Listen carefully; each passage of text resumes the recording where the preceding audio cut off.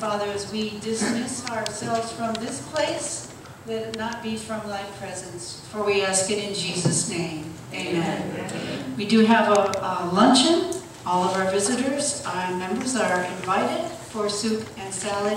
And please, thank you, Brother Bill. You might want to just listen to this beautiful postlude he's going to play.